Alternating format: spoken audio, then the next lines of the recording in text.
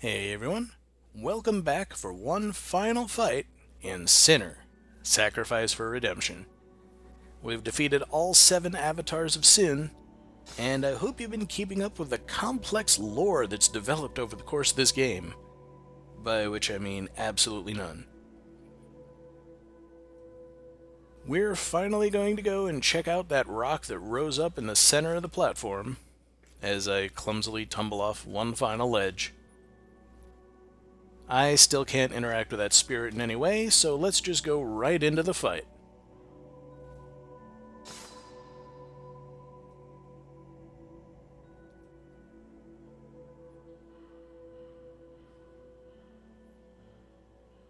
And I'm sure the spirit fading out of the background was supposed to be meaningful in some way, but I still don't know who that is.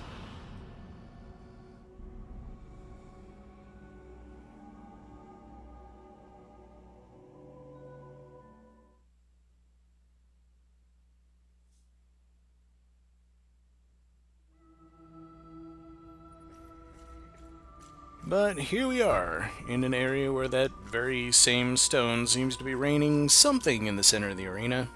Whatever it is, it doesn't affect anything as far as I can tell. And this is Adam the Forsaken. And that is Adam's full combo. You can parry and riposte Adam. You kinda have to. That's about the only way to do any meaningful amount of damage. And he's got a lot of really annoying attacks. Like lightning magic. Now, I think this is supposed to be our character, like from the beginning of the game with all the powers that we've given up. We never had lightning magic. I mean, otherwise, he's got a lot of stuff that's very similar to the stuff that we had. But, you know, we never got a lightning sword.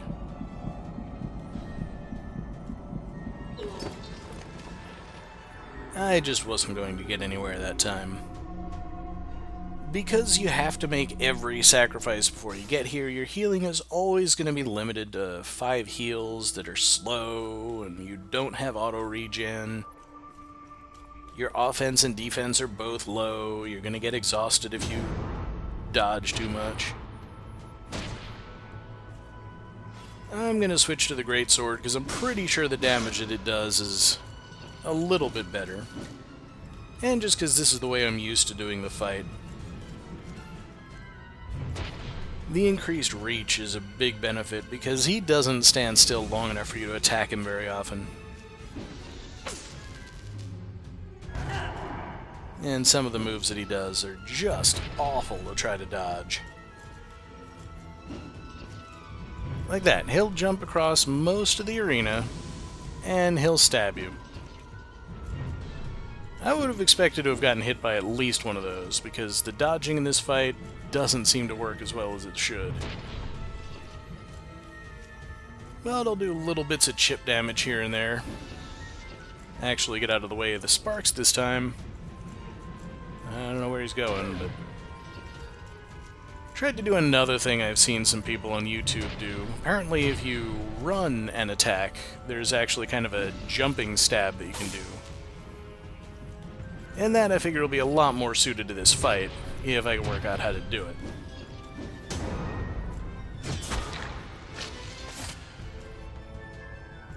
Yeah, parrying is really the only way to handle most of what he does. There's the jumping attack. I really should not have done that. And now he switches to a great sword, and at this point, you cannot parry him. I've tried. I never managed to do it the first time I went through the fight. I'll try it here again pretty soon. Yeah, once I give up on a particular attempt and recognize there's no way I'm going to beat him, I'll just try to get some parries in. He can parry me, I can't parry him.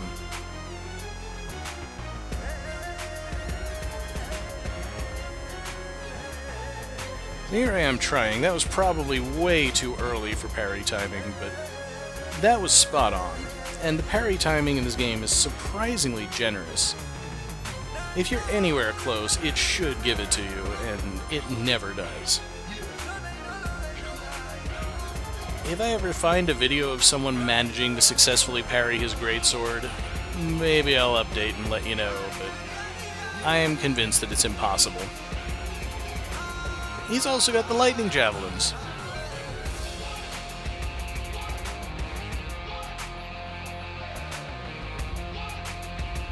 And really, you just cannot attack him from the front, whatever you do. He will parry you every time. Even if he's in the middle of an attack, you can't parry in the middle of an attack, but he can, and always does. There you go. I don't know whether maybe there's just that much input delay that the game knows the attack is coming and goes into parry animation that early, but it really looks like he's in the middle of an attack when I do that. And here, I mean, he had to be attacking me. And there's a parry. And I survived it for a second time, but I don't get a chance to heal.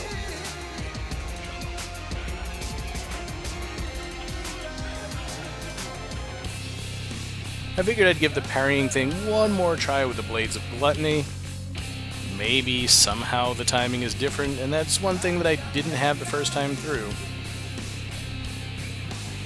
But I didn't really get very many chances to try it.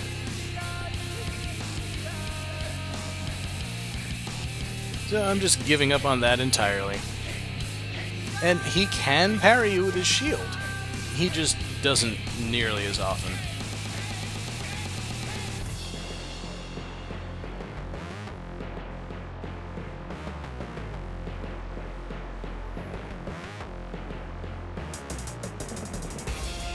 So that's really the way you gotta do it. Dodge, wait until he's in his attack animation, and then swing at him, and hope he's close enough to hit.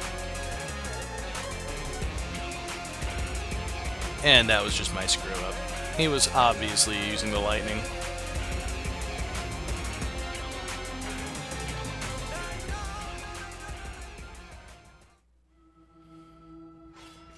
So here we go again.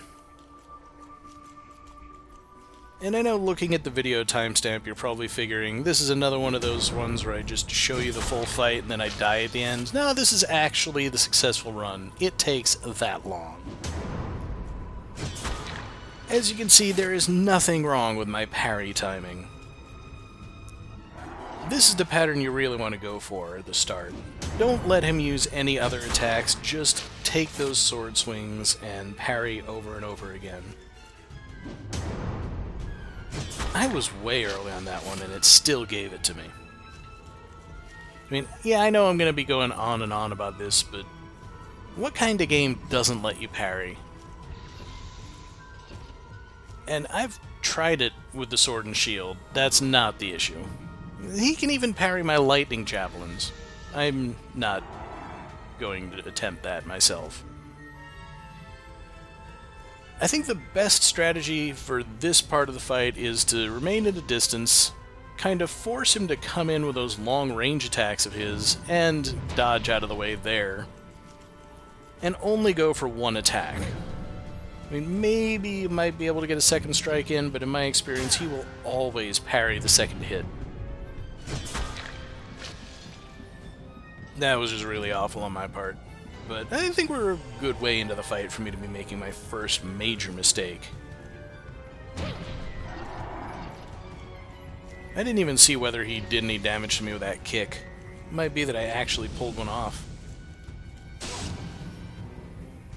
I don't think I was trying to parry there. I don't know what I was doing. Yeah, most of the time, even when you've actually got a good opportunity to attack, he dodges. And then I went for a running attack there, my run button didn't work. That one did, and I don't know what happened. I think it would probably be a bad idea to attempt to replicate that one. And I also don't know what exactly this charge-up move is. It seems like maybe when he does that, he's more likely to parry. But now it's finally actually his desperation mode. Here he sets his sword and his armor on fire. And believe it or not, I think from this point the fight is a lot easier. If you can make it here, you're in good shape. You just have to watch, because when his armor burns up like that, it explodes, and if he's too close, it will damage you. And it'll also leave you open for further attacks, so, you know, get blown up, and then get a face full of sword. Not a good combination. But really, you just kind of dodge into his attacks, try to get behind him, get in those swings when you can. And he does at least leave himself wide open after a lot of his combos.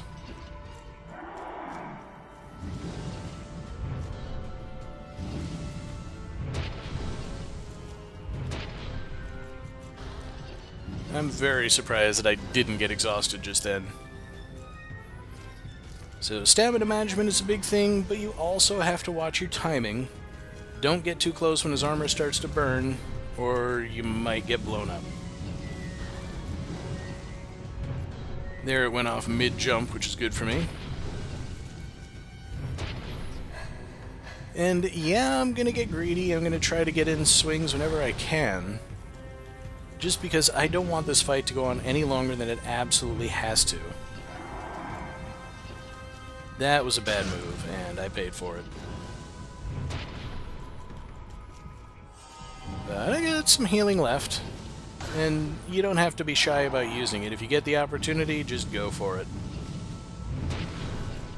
I, I, I don't know what happened there. I think I knocked him out of the air and lost my lock on, so of course I got to get that back so I can see what he's doing.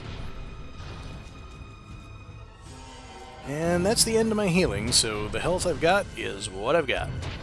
But I'm in really good shape this time. Barely dodging these attacks, but that is mostly good enough.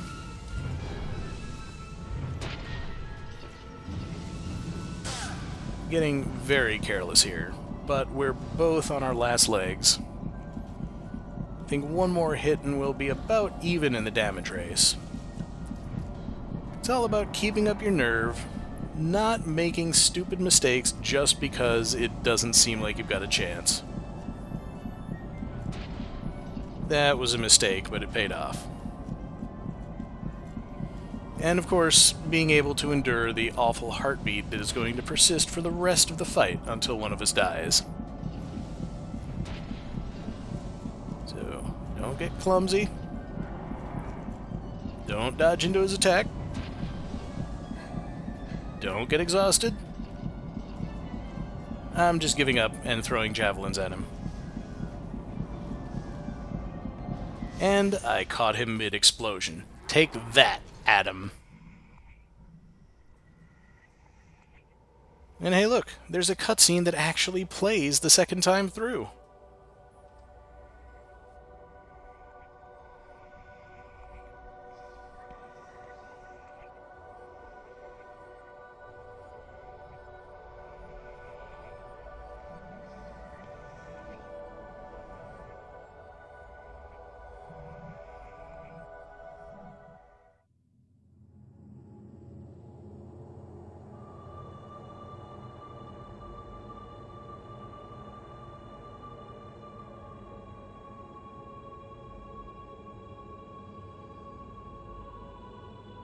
How could the sinner hope to purify the world?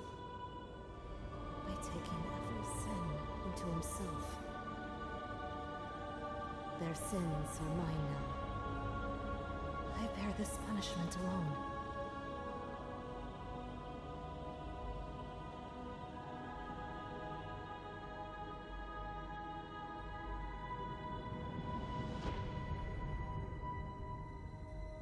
And there you have it. That's the style of cutscenes that originally introduced the bosses.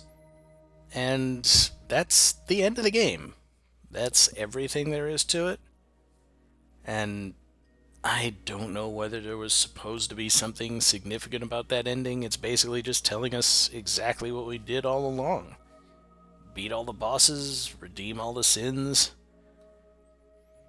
Again, it might be more impactful if I knew who any of these characters were, if they were characters. I mean, granted, say the protagonist of Dark Souls doesn't have a character as such, but there are a lot of other people in the game who do. It's kind of a living, vibrant world. This one, the opening story just kind of gives you everybody forgets what happened. Done. That's your world. And the reward for beating the game a second time? Absolutely nothing. We come right back to the title screen, we can play through the game yet again. I really don't feel like it. There is a challenge mode in the game, so I'll probably throw up a bonus video of me doing some of that. And until then, I'll see you around for hopefully a better game next time.